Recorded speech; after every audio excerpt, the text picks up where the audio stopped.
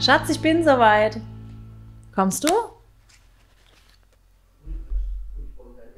Hauptsache mein Papa gießt im Hintergrund den Garten. Obwohl wir eine Bewässerungsanlage haben. Egal.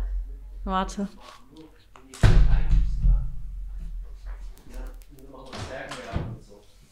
Hallo Papa. Okay. Kolay gelsin. Die später, okay? Der Papa. Ach Gott. Komm, wir klatschen zusammen. So. Jetzt, man fangen wir an. Jetzt? Ja, jetzt. Ich Jetzt. habe schon auf Record. Ich drücke jetzt, okay? Ja, warte ganz kurz für einen Videoeinstieg. Also, herzlich willkommen zu Sallys Welt. Heute ist unser 50. Podcast. Und deswegen haben wir von unserer oder in unserer Community Fragen gesammelt. Und mein Team hat mir 50 Fragen einfach rausgesucht, die wir jetzt gemeinsam beantworten Ja. werden. Du und ich?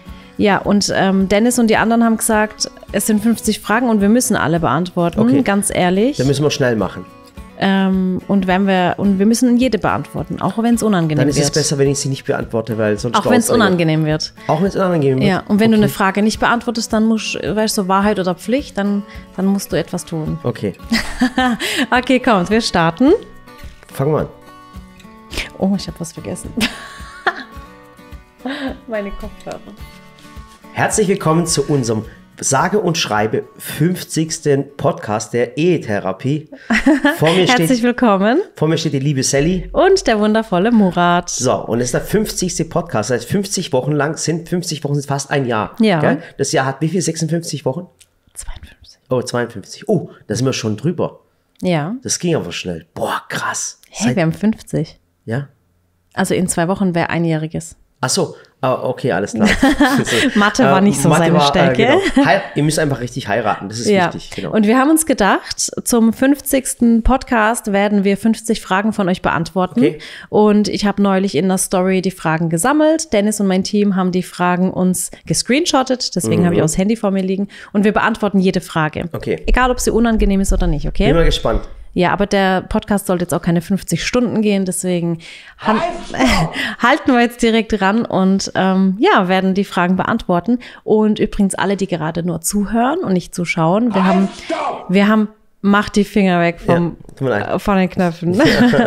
wir nehmen den Podcast übrigens auch als Videopodcast auf. Also falls ihr mal schauen wollt, wie es bei uns hier im Podcastbüro aussieht, dann könnt ihr gerne das Video auf YouTube, an- schauen. Genau. Oder wenn ihr auf YouTube seid und ihr wollt den Podcast anschauen, dann geht auf Spotify oder auf äh, Deezer oder AudioNow oder wie auch immer. Ganz genau. Und der ist kostenlos. Okay, also, ich fange jetzt einfach an. Okay. Aber ich schwöre, wenn es irgendwas pervers ist, ich bin raus. Ja, okay. Okay. Okay, was war die schwerste Zeit, durch die ihr gegangen seid? Ich glaube, eine schwere Zeit war ähm, die Bauphase. Das kann wahrscheinlich jedes Ehepärchen. Ja, da gab es eine, schlimmere Zeit, ganz am Anfang. Wir hatten schon viele Höhen und Tiefen, muss Ja. ich sagen. Aber ich glaube, es kommt immer drauf an, wie man mit so Situationen umgeht. Und ich glaube, wir zwei sind echt ein gutes Team. Toi, toi, toi. Und äh, wie sagt man, am wichtigsten ist es, dass man gesund ist. Ja, Das Allerwichtigste. Alles und ich bin einfach wirklich sehr froh, dass wir beide gesund sind, dass unsere Kinder, unsere Familien, die Eltern alle gesund sind. Und das ist für mich erstmal das Wichtigste. Und alles andere muss ich sagen, das sind Dinge, wo ich mir denke, so schlimm ist es nicht. Also egal, ob du mal finanziell am Boden bist, das ha- waren wir auch schon Mhm. Ja. tatsächlich, also wirklich auch schon ganz schlimm. Und wir sind da durchgegangen, weil ich mir halt denke, das, das ist kein Weltuntergang und man kann eben alles schaffen. Aber wichtig ist einfach, dass man gesund ist. Und deswegen jeder, der gesund ist, sollte seine Gesundheit auch wertschätzen. Ja. Und das ist keine Selbstverständlichkeit. Es gibt so viele Kinder, so viele Eltern, Familien, Alleinstehende, die einfach krank sind und denen geht's schlechter als euch. Und deswegen, egal wie schlimm die Situation auch erscheint, egal wie sehr ihr am Tiefpunkt seid, es gibt immer einen Weg raus. ja, auf Türkisch gibt es sogar einen Spruch, ich, ich sag mal kurz, Can'a gelsin, Malı gelmesin. Ja. Ja. Jonna Gelmessen. du bist so blöd. Okay, so, Der hat gedacht, ich merk's Ja, nicht. okay, aber passt. Ja. Ja. Ja. Okay. ja, was Ja. sind eure Lieblingsfarben? Ich Oh, mag Ach komm, ich habe man- die Fragen doch nicht fragen? rausgesucht. Das haben wir, das haben wir in meinem rein. Ich weiß. Hobbys und voll. Egal. Schwarz, ich ziehe immer schwarz an. Also seit ich mich zugenommen Ja. habe, ziehe ich nur schwarz an. Meine Ist Lieblingsfarbe ist tatsächlich immer noch Magenta, aber auch Salbeigrün zurzeit. Ich liebe So. Salbeigrün. Ja. Einfach schön. Mach die Finger weg von den. will- Bitte helfen Sie mir, ich bin in Gefahr. Bitte helfen Sie mir. Okay, wollte ich nur wissen. Was Ja. Hör auf jetzt. Ja, okay, weiter geht's. Was sind eure Lieblingsbücher? Ähm, und zwar, ich habe das schon mal gesagt, übrigens, komischerweise schreibt mich gestern einer an und sagt, danke für den Buchtipp. Das war das genialste Buch, was er jemals gelesen hat. Und zwar von äh, Carlos? Carlos Ruiz Zafón, Im Schatten des Windes. Ist ein Roman. Das ist der einzige Roman, den ich wirklich mal gelesen habe, aber der war so gigantisch. Ich kann mir das gar nicht vorstellen, dass Wirklich? du mal einen Roman Wirklich? gelesen Hätte ich auch hast. nicht mehr Die. Konzentration dafür hast. Ja, wirklich. Hör jetzt auf mit den Knöpfen, es nervt. Okay. Ich sag's dir, ich bind dir die Hände sonst weg. Okay, alles klar. Okay, also Im Schatten des Windes von Carlos Ruiz Zafón. Ich muss sagen, ich habe kein Lieblingsbuch, weil ich lese halt ein Buch einmal und das war's. Und wenn ich es gut fand, dann empfehle ich es auch gern weiter. Wer liest die Bücher zweimal? Ja, deswegen, deswegen verstehe ich auch die Frage mit, was ist dein dein Lieblingsbuch Ah, das? Buch, was ich gerade gelesen habe. Ja. Also es, ich habe nur ein Was Buch du vielleicht gelesen. ganz toll fandst. Ich fand zum Beispiel ganz toll ähm, ein ganzes halbes Jahr. Da Mhm. habe ich Rotz und Wasser keult. Ich habe aber auch echt gern andere Bücher gelesen. Ähm, The Mister, dann die drei Shades of Grey, Mhm. dann Thriller lese ich gern. Ich will, ja. ja. Weiter jetzt. Wünschst du dir manchmal mehr Zeit für dich selbst? Natürlich. Ich glaube, das wünscht sich jeder Mensch. Ich glaube, das wünscht sich echt jeder. Vor allem als Eltern, muss man sagen, opfert man, was heißt opfern? Man macht es ja gerne. Hm. Aber jetzt positiv ausgedrückt, opfert man viel Zeit für die Kinder, natürlich auch für die Ehe, für die Familie, für Freunde. Und ich denke, man selbst kommt oft zu kurz. Und das muss ich zum Beispiel auch lernen, dass ich mir einfach ein bisschen mehr Zeit nehme. Und ich weiß noch, dass ich bis vor kurzem immer gesagt habe, ich bin gar nicht so gern allein. Also ich bin schon immer gern in Gesellschaft. Ich lieb's, Freunde da zu haben, Familie, Kinder, Ehemann. Aber tatsächlich zur Zeit genieße ich es auch mal, wenn ich mal so echt eine Stunde einfach allein bin und so nichts spreche, nichts tue. Also was heißt nichts tun? Ich mache dann vielleicht Sport oder keine Ahnung, kümmere mich halt einfach um mich. Ich würde gerne wieder mal äh, mit Fußballspielen anfangen. Das kannst du machen. Ja, ich würde wirklich gerne wieder mit Fußballspielen anfangen. Hätte ich richtig Lust drauf. Fände ich auch schön. Und ich würde mal auch mal gerne wieder mit Kumpels fortgehen. ja, mach das. Ich habe nur noch den Ali, habe ich als Kumpel. Nur noch den Ali. Günni? Güni habe ich als Kumpel, ja, das sind die Schaban. einzigen. Ja, aber die nutzen Badi, mich. Ja, aber die Dennis. Die, nutzen mich nur aus. Ja, nur sagen. Ja, also ich muss mir auch ein bisschen mehr Zeit wieder nehmen für mich und einfach mal wieder auf mich hören, auf was habe ich jetzt gerade Lust. Und das finde ich ist schon wichtig, dass man das macht. Aber jetzt haben wir ja auch gerade Schulferien in Baden-Württemberg. Ähm, die meisten bei uns haben auch Urlaub. Also jetzt gerade Sarah und Josh, mit denen ich natürlich täglich arbeite, die haben gerade Urlaub. Das mit heißt, deinen Eltern würde ich gerne mehr Zeit verbringen. Ich, Ja. ich würde so gerne mit deinem Papa zusammen reisen. Ja. Ich würde mal gerne mit ihm nach China gehen oder ich würde mal gerne mit ihm nach, nach Afrika gehen. Ich aber ich glaube, mein. Papa, der ist da so, der, der wird es nicht wollen, nicht weil er die Länder nicht mag oder so, sondern er hätte, glaube ich, so ein bisschen nicht Angst, aber er, Mhm. der er mag so das Fremde. Ich glaube, da fürchtet er sich so ein bisschen davor. Mhm. Aber ich denke, dass es schon für die beiden recht cool wäre. Ja. Die sind halt nicht so abenteuerlustig, das ist das Wort, was mir fehlt. Ja. So, seid ihr glücklich, so wie es gerade ist? PS, ihr seid mega toll. Danke, ihr seid auch alle mega toll. Ich bin ähm, tatsächlich echt glücklich, so wie es gerade ist, weil ihr müsst euch vorstellen, klar arbeiten wir viel und es ist auch gerade echt viel, was wir haben mit Baustelle, Bauen, keine Ahnung. Aber es ist so, dass uns das alles viel zurückgibt. Also mich macht's glücklich, wenn ich jeden Morgen aufstehe und ich sehe die ganzen schönen Pflanzen und ich sehe die Mitarbeiter und wir, wir haben es einfach jeden Tag. Ich bin jeden Tag glücklich. Ich würde, mir geht es ein bisschen zu schnell. Ja, was? Äh, und das sagst du? Ja, wirklich, mir geht es ein bisschen zu schnell. Das heißt, man kann oftmals die Momente nicht so genießen, Ja. weil schon wieder das nächste Highlight kommt, muss ich ganz ehrlich sagen. Ich würde gern, ach Gott, Ich habe auch neulich mit einem Freund drüber ich würde so gesprochen. gern mal unter der Woche einfach auf dem Balkon sitzen. ja, aber das können wir doch machen. Das liegt ja in unserer Hand. Nee, das liegt in der Hand. Ja, doch, eigentlich schon. Du kannst ja echt mal sagen, so und heute lasse ich es jetzt mal Das liegen und mach morgen weiter. das Problem ist halt, dass wir hier auch arbeiten und auch leben. ja, Das ist ein, für mich ein Problem. Also was ist ein Problem? Es ist was Wundervolles. Es ist, eine, ein Privileg, das zu machen. Hat seine gute Seiten. Aber die schlechte Seite ist, ich kann jetzt zum Beispiel nicht äh, auf dem Balkon sitzen und, und während andere arbeiten. Das geht nicht. Ja, ja. Das kann ich nicht. deswegen. Aber ich glaube, das wird jetzt besser, wenn dann mal ähm, alle Mitarbeiter und das ganze Team praktisch Mhm. so ins Nebengebäude ziehen. Und dann haben wir auch ein bisschen mehr Privatsphäre wieder. Und das Mhm. wird für uns echt gut, weil das stimmt auch, dass auch bei uns unter der Woche zum Beispiel, wenn ich dann drüben arbeite und drehe und Mhm. Murat eben im Raspberry oder egal wo arbeitet, dann ist es halt auch so, dass ich zum Beispiel ähm, mit Samira geht's, die ist schon zehn, dann kann die schon Freunde einladen und mit denen hier spielen und Zeit verbringen. Bei Ella, die will ich halt nicht alleine lassen, die ist ja erst fünf. Und wenn da jetzt eine fünfjährige Freundin dazu kommt, wir haben einen Teich, wir haben einen Garten und dann hätte ich halt Angst, dass da was passiert und die kann ich dann nicht alleine lassen. Das heißt, Ella hat halt immer nur Freunde da am Wochenende, wenn wir halt auch frei haben. Aber wie gesagt, die Vorteile überwiegen. Ja, auf jeden muss man ganz Fall. Definitiv. Also ich würde es nicht anders machen wollen. Ja. Ähm, habt ihr jemals gedacht, dass ihr selbstständig sein werdet? Ich tatsächlich nicht, denn ich, Ich- war immer ich schon.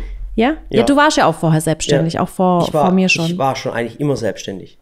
Und ich war halt immer so ein Sicherheitsmensch. Ich Also wollte heißt- Beamtin werden und wollte Lehrerin sein. Ich meine, selbstständig war einfach halt äh, ähm, morgens ganz normal arbeiten irgendwo we- wegen der Sicherheit und mittags dann Schwarzarbeit.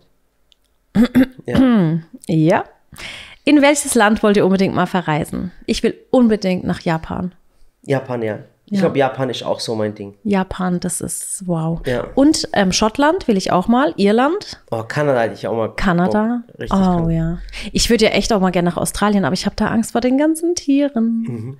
Weil der Josh mir mal, der war ja mal ein Jahr dort und dann hat er mir erzählt, wie da die Riesenspinnen und dann bin ich raus. Ja, also Ding wäre, Japan wäre so Ja. wirklich etwas. Und wo- Finnland. nee, ist mir mh, zu kalt, auch wenn es manche schreiben, die haben auch Sommer, ich weiß. Und Georgien.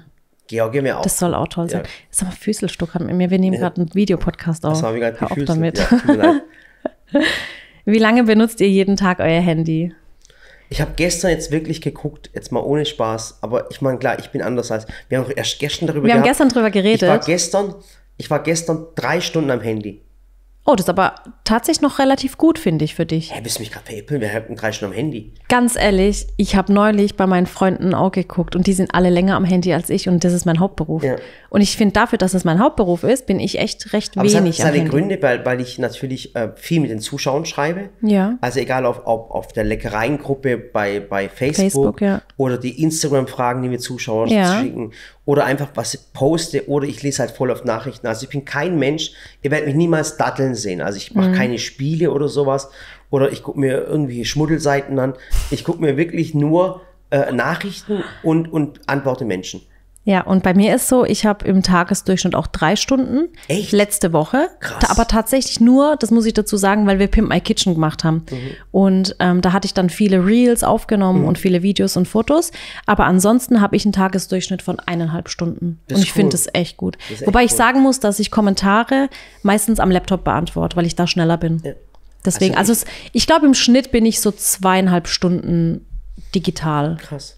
Und das finde ich geht. Also ich, ich gucke dann halt auch nach Effizienz. Also ich dattel dann halt auch nicht rum. Mhm. Klar gucke ich mir auch mal Reels und Stories und so an. Aber ich bin schon so, dass ich dann die Zeit effi effizient nutze und dann das Handy Ja, wieder weglege. Mein Handy ist zum Beispiel gar nicht da, aber das Schlimme, wenn du überall Menschen siehst, wo, wo, der, wo der, das Genick dann so geknickt ist Ja, und ja. dann gucken sie mal drauf, wie die, oh, das war Ja. Okay. Gut, ähm, dann fragt eine Zuschauerin. Oft habe ich das Gefühl, dass ich im Leben nicht vorankomme. Habt ihr Ratschläge? Ich Du glaube, musst dann richtig heiraten. Mach das auch, habe ich auch gemacht. Bringt einem wirklich was. musst du gar nicht. Ja. Ich glaube, dass viele Menschen sich Ziele setzen, die zu hoch sind. Und dann hat man das Gefühl, man kommt nicht weiter. Und ich glaube, wenn man sich kleinere, realistischere Ziele setzt, dann, dann hat man zum einen die Motivation, das auch zu schaffen. Und ich meine, ich sage jetzt auch nicht, dass ihr euch nie hohe Ziele setzen könnt. Ich meine, wir haben uns auch hohe Ziele immer Ja. gesetzt, ne?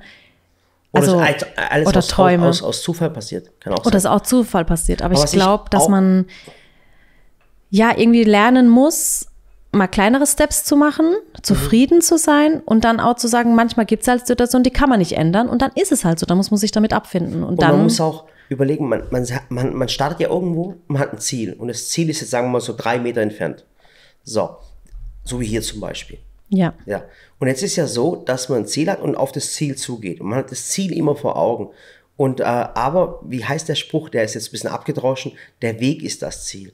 Das heißt, unterwegs passiert so, so viel Cooles, dass aber manche Menschen sind aber so fokussiert auf Genau. ihr Ziel, dass sie das unterwegs gar nicht mehr wahrnehmen, was unterwegs alles passiert. weißt Ja, du? und das ist auch Wertschätzung. Und das ist auch Wertschätzung. Es ist auch mal, da gibt es einen ganz, ganz berühmter Erfinder, der hat gesagt, der hat auf dem Weg zum Ziel mehr erfunden als Mhm. im Ziel. Also der hat sich dann zur Aufgabe gemacht, ich werde jetzt, keine Ahnung, äh, ähm, Einen Teller mit Goldrand erfinden. einen Teller mit Gold dran erfinden, weißt Und dann war er auf dem Weg, den Teller mit Gold dran zu empfinden und hat unterwegs so viele neue Mhm. Sachen erfunden. Und deswegen muss man sich immer natürlich Ziele setzen, aber die Augen offen halten und immer auf den Boden schauen. Ja. Weil die coolsten Sachen sind, liegen meistens auf dem Boden. Das stimmt. Und vielleicht kannst du dir ja auch abends einfach immer so drei Stichpunkte machen, was du den Tag erreicht hast, was du vielleicht Neues gelernt hast, was positiv war.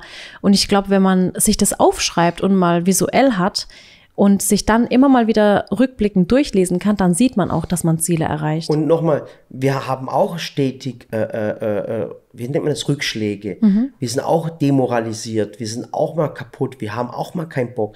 Das ist völlig, völlig was Normales. Also das ist gar nicht, also das ist wirklich etwas völlig Normales und ja. So. Entschuldigung, ich musste gerade gehen. ja, hat der Podcast eurer Ehe gut getan, so als Ehetherapie? Definitiv. Definitiv, ja. Und ich bin der Meinung, ganz ehrlich, selbst wenn ihr den Podcast nicht öffentlich macht, äh, mit eurem Partner, macht einen Podcast. Ja. Wirklich, ohne Wir Witz. haben vorher wirklich, also wir sind schon so ein Pärchen, was vielleicht zu wenig auch mal geredet hat, weil Ja, wir halt wir viel dauernd, unterwegs, äh, unterwegs sind, waren und dann hier und Was da heißt unterwegs? und Du Haushalt. bist ja drüben Ja, also nicht unter, genau. Also so, wir hatten, jeder hatte einfach zu viel zu tun, so für sich. Und dann, keine Ahnung, da bin ich abends zu kaputt und dann habe ich eben gar keine Lust mehr zu reden. Und dann war so Podcast, war halt so ein, so ein Termin. Ja. Und ich glaube, so wie Murat sagt, man kann sich einfach diesen Termin setzen. Und ich meine, auch wenn wir den Podcast jetzt nie veröffentlichen würden, setzt euch einfach einen Termin, einmal die Woche. Und ich weiß, als Mama und Papa von zwei, drei oder mehr Kindern, schafft man es oft halt nicht. Da bleibt halt diese gemeinsame Zeit halt manchmal auf der Strecke, weil man so viele Verpflichtungen hat. Aber nehmt euch einmal die Woche zumindest eine Stunde und das schafft jeder. mit dem Partner zu reden. Das schafft jeder. Du lernst den Partner auch neu kennen. Ja. Vielleicht lässt du dich nachher auch scheiden, weil du gemerkt hast, dass die falsche Person ist. Du weißt es nicht. Aber uns hat es wirklich Willst gut du mir getan. was damit sagen? Nein, will ich nicht sagen. Äh, Aber uns hat es wirklich gut getan, wie du es gerade gesagt hast. Abends hockt man sich hin und dann ist man, ist man so fertig und dann sagt man, ich brauche irgendwas, eine ganz leichte Kost. Genau. Und dann schaut man sich vielleicht Netflix an oder, Ja. oder was anderes. Aber so ein Podcast ist besser, So ein finde ich. Podcast ist so einfach, man redet miteinander und merkt dann Ja. einfach, oh, da ist ja eine Person, ich, ich lerne meine Frau neu kennen, nach Ja, 13 Jahren. So war's. Macht es auf jeden Fall. Ja, wann kommt ihr mal nach Wien? Ich muss sagen, wir waren ähm, die letzten Jahre öfter in Wien. Klar, jetzt Corona-bedingt ging Ich es glaube, wir nicht waren mehr. sogar fast öfters in Wien als in Berlin. Ja, das stimmt. Und wir kommen auf jeden Fall wieder. Ich meine, wenn jetzt erstmal wieder hoffentlich alles wieder Ja, normal Richtung wird. normal wird, dass wir dann auch wieder nach Wien kommen, zum Interspar kommen, unsere Partner und Freunde besuchen, denn wir sind super gerne in Österreich. Ja, Österreich ist, ist- so schön. Wahnsinn, wirklich. Ja, ist echt Wahnsinn. Während du mit der Arbeit beschäftigt bist, wo bleiben deine Töchter? Also oftmals ist so, dass sie bei Oma und Opa sind. Ich bin auch sehr froh, dass wir Oma und Opa haben und Also wir tun sie in der Vorratskammer einsperren. ich bin auch echt froh, dass wir Oma und Opa haben und die beide gesund sind. Die gehen mit denen in den Garten, auf den Spielplatz, sind bei uns im Garten. Aber oft ist auch so, dass sie einfach bei uns zu Hause sind und die Ella hat vorhin zum Beispiel ihr Zimmer aufgeräumt, dann hat sie mit ihren Tony-Box-Figuren gespielt, dann hat sie gemalt. Samira kommt dann auch mal gerne ins Büro rüber. Also die sind teilweise hier oder teilweise mit Oma oder auch bei Freunden. Und die Samira zum Beispiel, die kann schon Videos schneiden. Also die Ja. schneidet schon Videos, die lernt dann von der Ariane, von den Leuten hier, vom Dennis oder oder die gehen hoch und machen Hausaufgaben. Also es ist sehr, sehr familiär Oder Photoshop und. Oder so. Photoshop, genau, lernen sie Kinder auch schon. Genau, wichtig ist den Kindern ganz, ganz früh Photoshop beizubringen. Ist ganz, ganz wichtig für Instagram, für die Filter. Ja. Ja. Ja, was ist die wichtigste Gewohnheit, die ihr euren Kindern beibringen wollt? Ähm, eine Gewohnheit, dass sie immer ordentlich sind. Und als Eine ähm, Gewohnheit. Ist Ehrlichkeit eine Gewohnheit? Nee. Das habe ich auch gerade Nee, nee, gedacht. Nee, eine Gewohnheit. Nee, einfach, einfach sauber zu arbeiten. ja, Das- sauber arbeiten und Dinge, die man begonnen hat, beenden. Genau. Da hatte ich es auch neulich mit einer Mama drüber, ähm, weil äh, Samira jetzt eine Zeit lang hatte sie keine Lust mehr auf Klavier. Muss man ganz ehrlich sagen. Und dann war ich aber trotzdem so, dass ich gesagt habe, nee, du gehst bitte weiterhin. Und habe sie dann auch versucht wieder zu motivieren, weil gerade Klavierspiel muss man halt auch sagen, wir haben ja so ein, so ein Gerät gemietet, so ein Mietkauf. Und dann denke ich mir halt auch, so ein Kind muss halt auch lernen, das ist jetzt eine Verantwortung. Ich Ja. wollte das unbedingt und die hatten uns ja wirklich monatelang genervt damit, dass sie unbedingt Klavier spielen will. Und dann finde ich, muss man halt auch am Ball bleiben. Und man muss auch lernen als Kind, dass es Dinge gibt, die man, und ich meine, also, dass es Dinge gibt, die man tut. tun muss, Ja. weil es eben gemacht werden muss. Dazu gehört mal die Kehrwoche zu machen, dazu gehört das Zimmer aufräumen, dazu gehört Haushaltstätigkeiten oder halt auch mal extrem früh aufstehen, weil man hat eben als Erwachsener Verpflichtungen, denen man nicht aus dem Weg gehen kann und man muss es halt tun. Und ich finde, als Kind sollte man das lernen. Klar, wenn ein Kind irgendwie weint und irgendwas tut und es will es auf Gott echt einfach nicht machen, dann sollte man niemanden dazu zwingen. Aber jetzt haben wir es eigentlich wieder so weit, dass es wieder gerne macht. Ja. Was würdet ihr eurem früheren Ich mit auf den Weg geben? Ich würde meinem früheren Ich ein bisschen mehr Selbstbewusstsein auf den Weg geben. Stimmt, du warst damals nicht selbstbewusst, gell? deswegen habe ich dich auch gekriegt. Ich war sehr schüchtern, ich war sehr selbstkritisch, habe nicht an mich geglaubt. Cool. Und, Und- dann ist ja meistens so, wenn Menschen so sind, dann, dann treten sie meistens in eine Sekte ein. Und du hast schon einfach geheiratet. Richtig. Ja. Ich würde meinem früheren Ich echt mehr Selbstbewusstsein geben. Ja. Aber ein gesundes Selbstbewusstsein. Es gibt ja auch ein krankes Selbstbewusstsein. Das sind dann die, die irgendwie im Fernsehen anfangen zu singen. Was ich Vor mein, der Öffentlichkeit und vielleicht nicht sollten. Was ich meinem früheren Ich mitgeben will, gar nichts. Also ich, ich bereue gar nichts. Ich bereue wirklich nichts.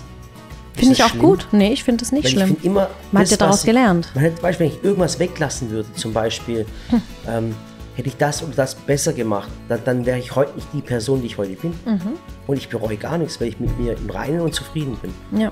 Vielen Dank fürs Zuhören. Wir haben jetzt hier die ersten paar Fragen schon beantwortet. Und wenn ihr die Fragen bis zum Schluss hören möchtet, dann hört euch gerne den Podcast an. Den gibt es überall, wo es Podcasts gibt. Genau. Tschüss. In Kiosk. Im, Und schreibt gerne in die Kommentare, welche Themen wir als nächstes behandeln sollen. ihr könnt übrigens den Podcast auch im Lidl an der Kasse. Fragt einfach. Macht es. Tschüss.